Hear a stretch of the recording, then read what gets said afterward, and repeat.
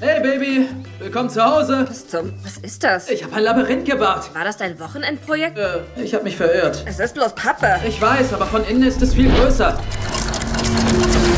Ich gehe in das Labyrinth. Nein! Es ist zu gefährlich. Ich will nicht, dass du dich verirrst. Gehen wir endlich rein. Los geht's. Halt! Es ist größer.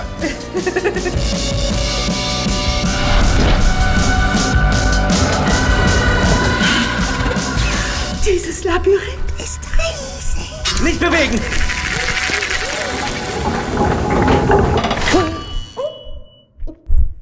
Okay, alles in Ordnung. Oh,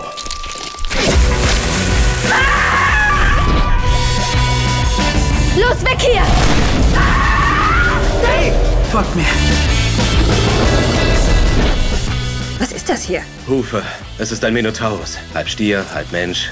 Frisst Menschenfleisch. Aus dem Labyrinth. Es war einfach nur Pappe. Niemand sollte verletzt werden.